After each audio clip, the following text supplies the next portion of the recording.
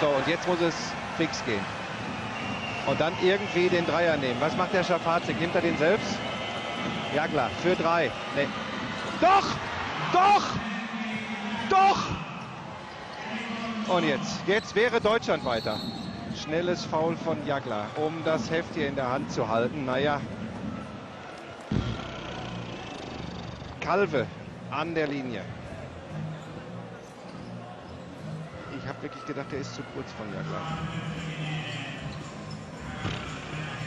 Kalve an der Linie, dann 13,2 Sekunden noch auf der Uhr. Was macht Kalve von der Linie?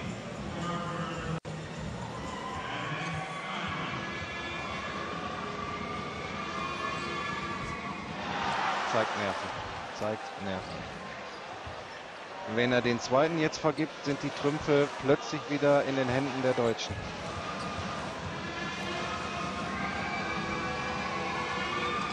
Er vergibt.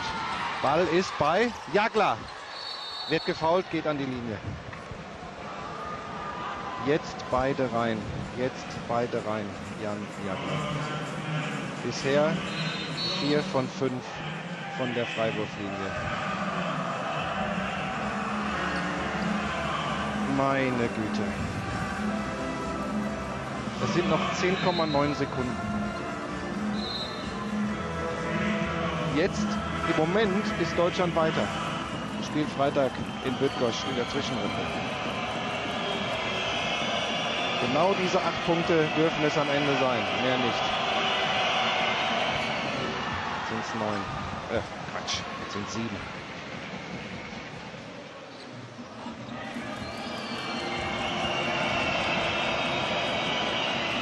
Jetzt sind sechs, sie müssen faulen. Auf keinen Fall einen Dreier der Letten riskieren. Auf keinen Fall einen Dreier riskieren.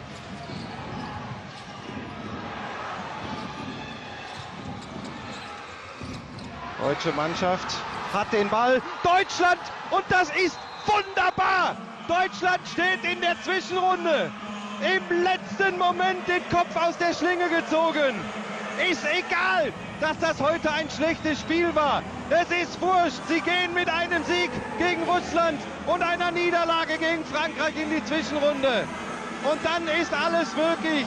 Sie haben dieses vermurkste Spiel nicht gewonnen. Aber sie haben die Zwischenrunde erreicht. Knapp genug die Niederlage als Gruppendritter.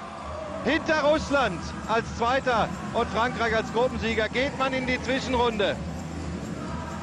Mann, oh Mann, oh Mann, war das ein Zittern. Konsternierte lettische Fans. Aber die deutsche Mannschaft, die war fast raus hier. Schafft es dank der Taktik am Ende.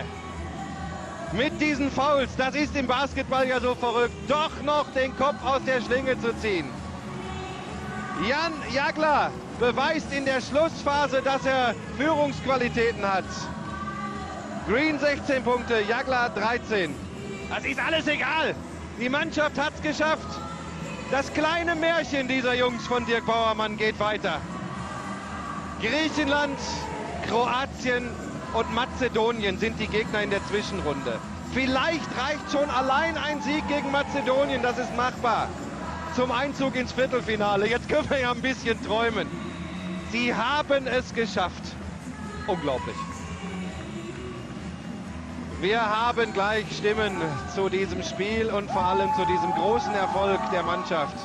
Sie bleibt im Turnier bei dieser Europameisterschaft. Also, wir schnaufen alle ein klein wenig durch.